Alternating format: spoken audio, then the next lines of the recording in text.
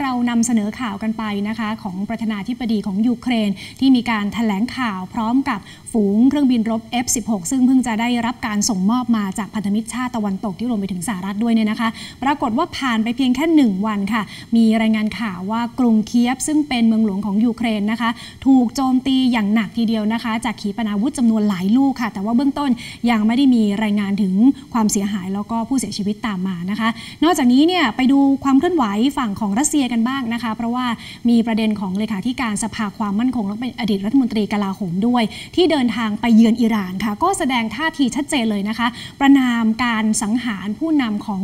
ทางกลุ่มฮามาสที่เกิดขึ้น จนทำให้เสียชีวิตในอิหร่านด้วยค่ะ นอกจากนี้มีรายงานจากทางสื่อของสหรัฐเองออกมาด้วยนะคะ ว่าตอนนี้เนี่ยทางรัสเซียกำลังมีความเคลื่อนไหว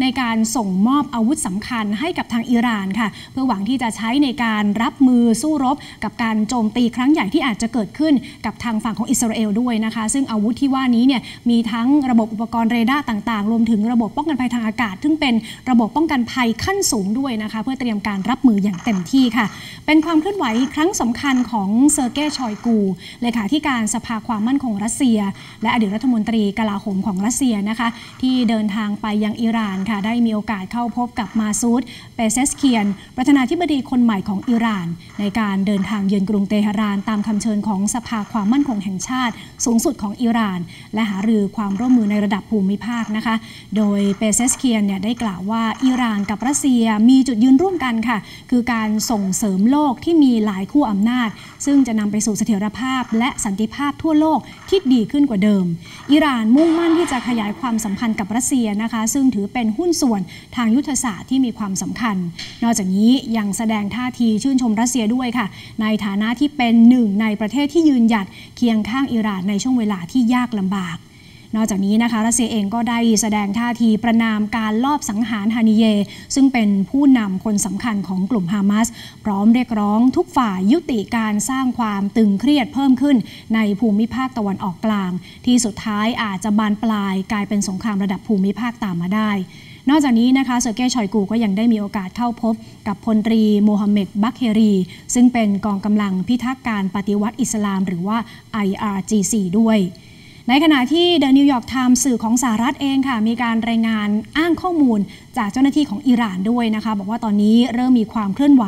จากทางรัสเซียที่ให้การสนับสนุนอิหร่านออกมาอย่างเป็นรูปธรรมแล้วนะคะ ก็คือเริ่มส่งมอบอาวุธค่ะ อาวุธที่ว่านี้นะคะ มีทั้งระบบป้องกันภัยทางอากาศขั้นสูง มีทั้งอุปกรณ์เรดาร์ส่งมอบให้กับอิหร่าน ในการเตรียมที่จะสู้รบ ครั้งใหญ่นะคะ กับทางอิสราเอลที่มีความเสี่ยงเหลือเกินที่อาจจะเกิดขึ้นได้เร็วๆนี้หลังจากที่รัฐบาลกรุงเตหะรานของอิหร่านนั้นได้ประสานเพื่อร้องขออาวุธ ร้องขอการสนับสนุนจากรัสเซียไปก่อนหน้านี้ค่ะ ส่วนความเคลื่อนไหวที่กรุงเคียบเมืองหลวงของยูเครนเมื่อวานนี้นะคะ ปรากฏว่ามีเสียงระเบิดดังขึ้นมาหลายครั้งทีเดียวค่ะ พร้อม ๆ กับเสียงไซเรนเตือนภัย การโจมตีทางอากาศที่ดังไปทั่วทั้งเมืองเหมือนกันนะคะ เจ้าหน้าที่รัฐบาลของยูเครนบอกว่าหน่วยป้องกันภัยทางอากาศของยูเครน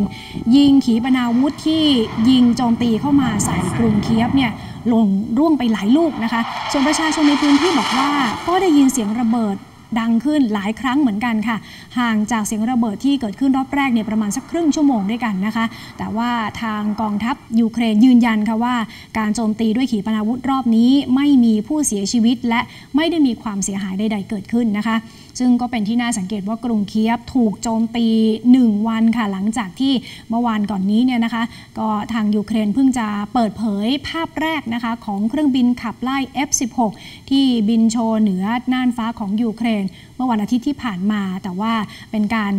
เปิดเผยโดยไม่ได้ระบุถึงสถานที่ชัดเจนนะคะ ในการถ่ายคลิปวิดีโอของ F16 ทั้งหมดที่ขึ้นบินโชว์ไปก่อนหน้านี้ ซึ่งเป็นการยืนยันว่ายูเครนนั้นได้รับการส่งมอบเครื่องบินรบ F16 ที่ผลิตโดยสหรัฐมาแล้วเรียบร้อยนะคะ หลังจากที่ก็มีปฏิบัติการในการสู้รบกับทางรัสเซียยาวนานมากว่า